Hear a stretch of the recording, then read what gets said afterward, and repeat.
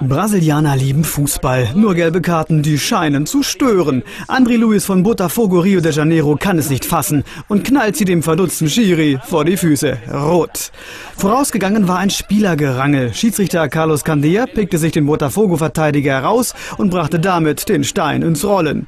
Luis erwartet jetzt eine heftige Strafe des südamerikanischen Fußballverbandes.